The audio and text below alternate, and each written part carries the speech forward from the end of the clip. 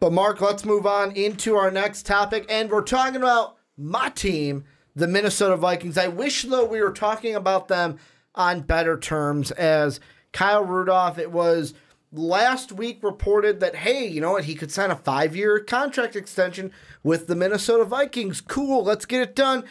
And then talks broke down. So that's where we're at right now. Five year extension was on the table. They're not exactly where they would like to be.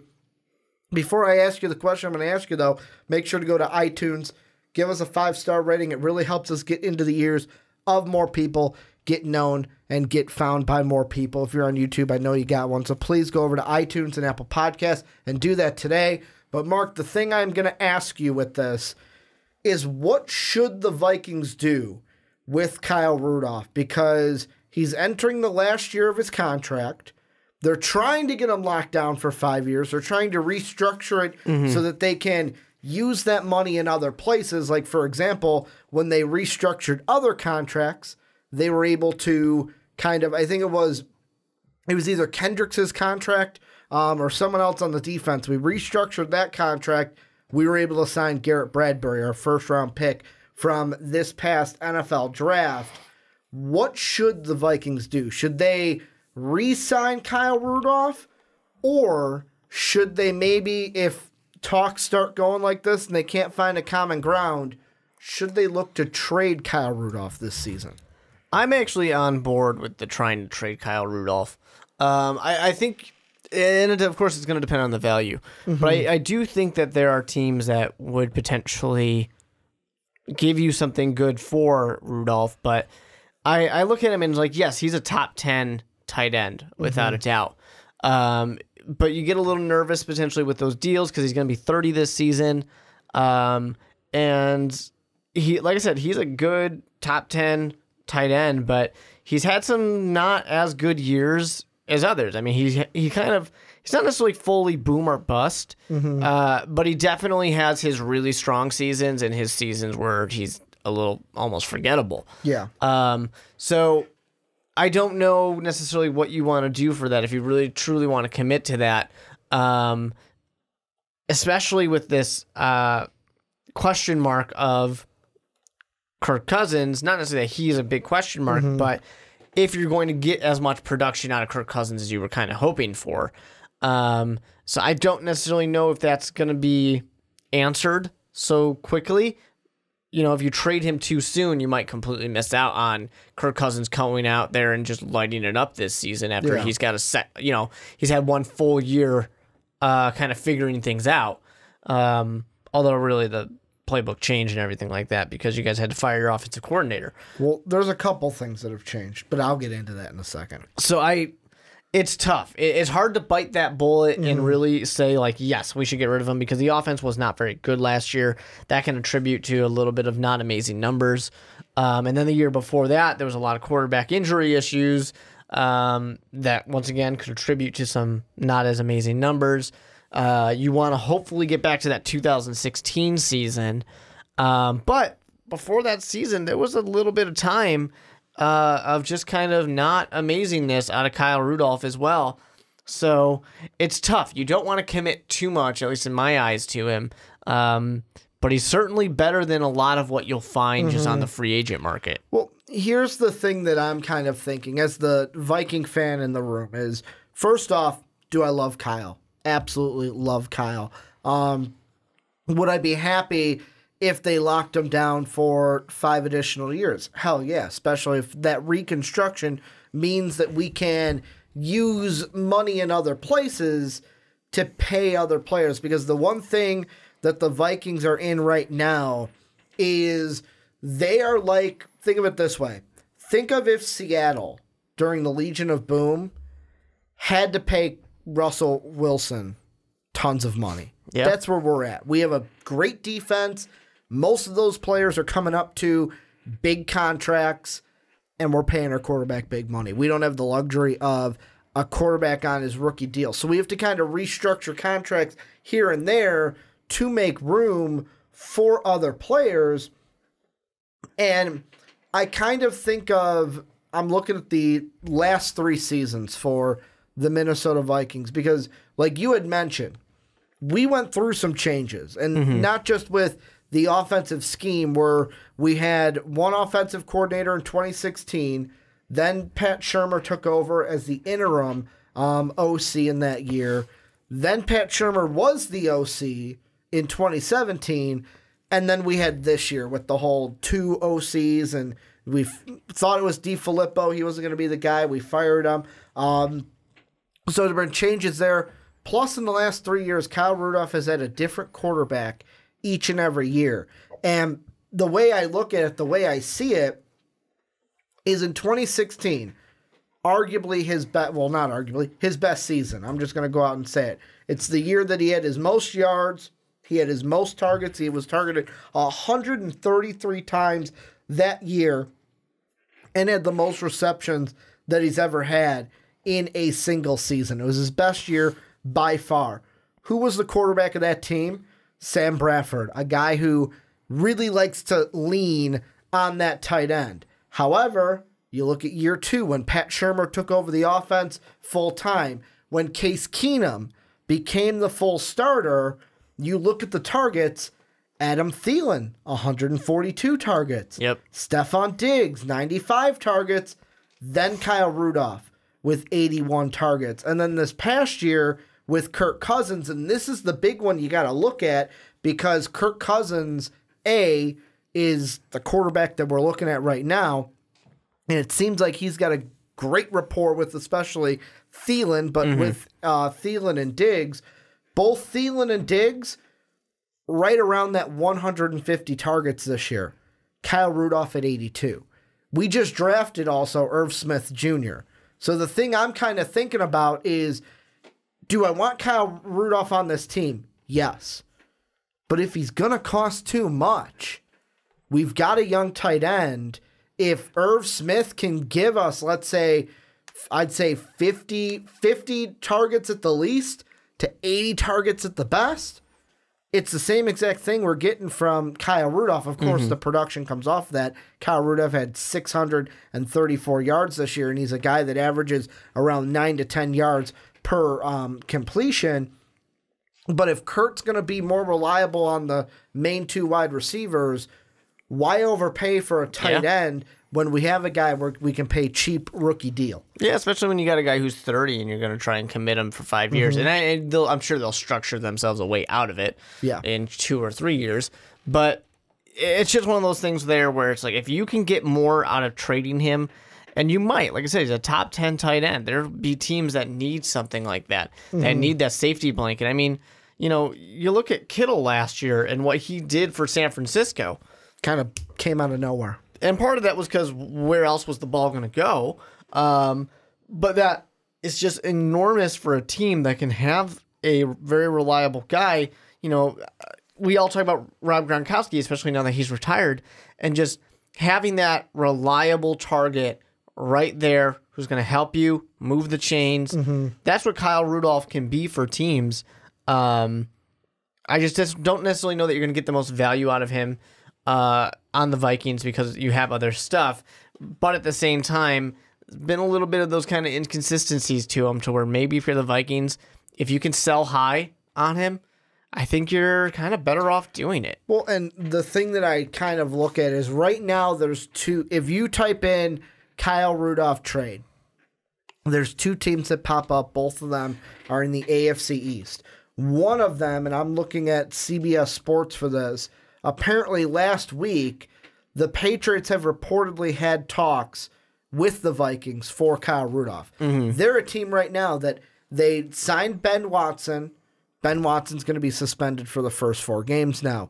Um, they had obviously Gronk retired this offseason. They have a pretty big hole at the tight end position. Yep. And Tom Brady's a guy that A likes to spread the ball around, but likes to lean on that tight end. And the tight end is a big part of that Patriot system.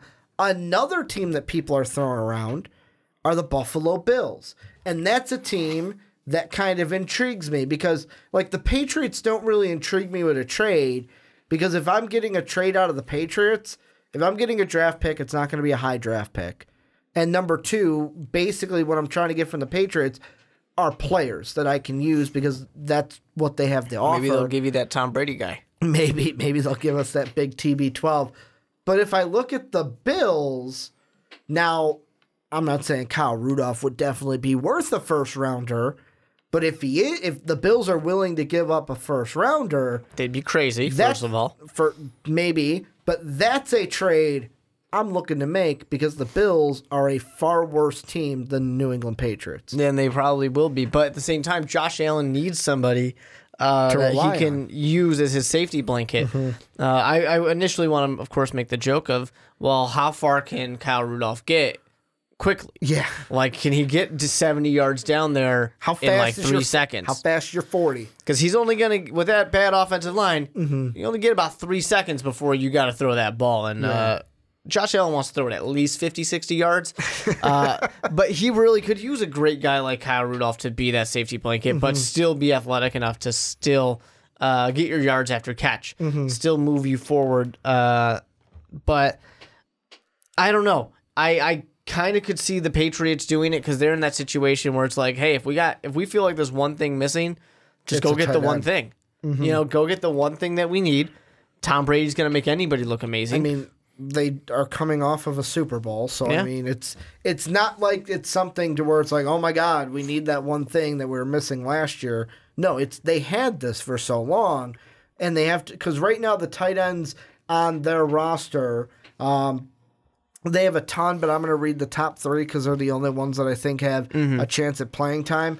Ben Watson, who obviously first four games suspended. Yep. Um, then my favorite, uh, ASJ, Austin Seferian-Jenkins. Um, he's probably going to get time in those Yeah. first four as the main tight end. But also got to throw uh, some big Illini love to Matt LaCosse, um, who's now the third string tight end for the Patriots, or for in him. this case, maybe the second stringer because For they like weeks. to run those two tight end sets. So he'll probably get some time next to Seferian-Jenkins. Could this team would be so much better if they were able to trade and have Kyle Rudolph and Austin Seferian-Jenkins, and then it, once those four weeks pass, it's Kyle Rudolph and Benjamin Watson Mm-hmm. are your main two guys, and then the Patriots would be like, okay, we don't need to panic that Gronk retired. Yeah, exactly. And and you know when you got a guy like Tom Brady, you know you're gonna Mm-hmm. have success no matter what. Um, the Patriots, I mean, they're a team where you know we we talk about them trading back all the time anyway. So if it has to be a second round pick or something like that, that's not big that big of a loss for the Patriots. Um, you know, would the Vikings be willing to make that trade? I'm not 100% sure because the value becomes a little bit less, but I still stand by the fact of I think you can survive without him. Um, and I think this team would hopefully try and find a little bit more consistency uh, at the position. And I think that get what you can, get what you can now, because like I said, he's uh, he's gonna this season he's about to be on the wrong end of 30 Mm-hmm. Players don't last forever. Just get what you can. And I know that the one, the big thing is that Kyle Rudolph wants to get this done, obviously before OTAs. Doesn't Yeah. want this to be a distraction. Well, he wants it to be done. He wants his contract. Well, there's that, but it's also you don't as a player. There are some players out there that don't want that to be a distraction for their season. They don't want to be sitting there going Mm-hmm. like, "Oh man, I really have to play up this year because now Well, it's a contract year." Like They want the adds a bit of security. pressure. Yeah, it Yeah. adds that security. But the thing that the Vikings on the other side are really trying to do, like I mentioned, and I'll give the exact numbers here. So Kyle Rudolph for 2019 is going to have a 7.625 million dollar cap hit, and Minnesota has less than 1.3 million in cap space, and can't afford to pay him at the price that he wants to need him on the roster. That's basically where we're at right now. So I mean it's all going to come down. I know right now you see reports of like Kyle Rudolph where it's like really want to stay in Minnesota, really like it in mm-hmm. Minnesota. Of course he's going to say that. And I know me, That's like I there. said, I would love to have Kyle Rudolph on this team because he's been here for his whole career. It's not like he's a bad tight end, but the Vikings need to be smart. The Vikings need to be smart and not overpay Mm-hmm. for Kyle Rudolph Because you mentioned age, which is a good one. Also, usage, like I brought up, if it's going to be the ball can only get to so many people. Yeah. Like it's not like basketball where everyone can touch the ball on one possession. No. Usually on an offensive possession, two guys touch the ball. Quarterback, running back, quarterback, wide receiver, quarterback, tight end. Like two people or quarterback, defensive player if it's an interception or three if it's a fumble. Or if the it's- defensive player picks Yeah. it up. You know, get tricky. Like, straight yeah, to the straight to the running back, then to a wide receiver, then to the quarterback, Ricky, maybe and then to another wide May- receiver. Maybe, um, but my point is like not a, the it, not a lot of people can touch the ball on one Yeah. possession like different sports. And if I'm sitting here today, I think if I'm the Vikings, I mean, you want to keep Kyle Rudolph, but at the same time, you got to be smart. I think what I would be leaning towards at this point is, well, you know what? If we can't get to this, I need to explore trades. And then it becomes what can you get Yeah. for Kyle Rudolph? Because ideally, I would love to get a first round pick from him, but I don't think we will. Um, I think the high, I think the highest, and you can tell me if I'm wrong. This is maybe me drinking the purple Kool Aid. I think the highest pick we could get for Kyle Rudolph would maybe be a second, I think a second is possible. if The team is willing to do it, and a team Mm-hmm. needs it. maybe desperate Um, enough to do it. But I, I think a third would be fine. I, If I Mm-hmm. was the Vikings, I would take a third for Kyle Rudolph. Why not? And I mean, just to throw out there, Irv Smith Jr. You want to know how much he's going to make this year? How much? Just under five hundred thousand. Yep. That's that second round pick, man. Four years, he makes just under. I mean, that's his base salary. So with his signing, he's making about a million dollars um, this year. But Pretty his, nice. But his cap hit w- just over one million. Kyle Rudolph seven million. So uh, tomato, tomato. Um, which one you'll take? Um, but any final thoughts on this before we move on? Um, if it happens, I don't see it happening anytime soon. Either way, I think this will be very kind of last minute. Do you think what what has a I- great a I vote on greater the trade. but what do you think has a greater chance? Them getting a deal done before the season ends, Mm-hmm. or him being traded mid-season, Um, or before the season? I would say probably. I in that case, I would say that they'd probably get it done before the season, a deal. Okay. Over a mid mid year uh, trade, Mm-hmm. unless the Vikings just come out and they lose six in a row, and they're just like, well. Buy Kyle Rudolph. Buy anything good. Yeah, let's uh let's hope they don't lose um six in a row. As I'm very right. quickly pulling up that schedule to see who our first six games are. I don't because know. I don't right want us it. to lose six in a row. Of course you are. You're a Bears fan. Um, but I'm gonna lean more towards I think it's gonna be about 60-40 trade. Um, where I think the Vikings are trying to get a deal done. It's obviously they haven't walked away from it. Um, but I think no matter what, if you can't get a deal done, a trade needs to happen. You can't let Kyle Rudolph walk um, at the end of the season. So I'll say 60 40 in my mind that he gets traded this season compared to um, getting a deal done just because of where they're at in talks right now. But this is where you guys come in. Let us know what you think down below in that comment section. What's going to happen? What do you think about the trade talks? What do you think, Viking fans? Do you want Kyle Rudolph? Are you kind of hoping to where it's like, oh, me, I don't want to overpay him because I really just want this team to be successful and pay the other guys we have to? And if you're a Vikings fan, are you open to the Vikings trading away Kyle Rudolph? Let us know what you guys think down below in that comment section.